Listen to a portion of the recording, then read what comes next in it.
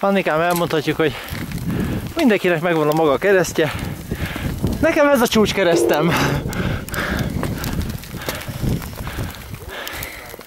Remek élmény így jégesőbe.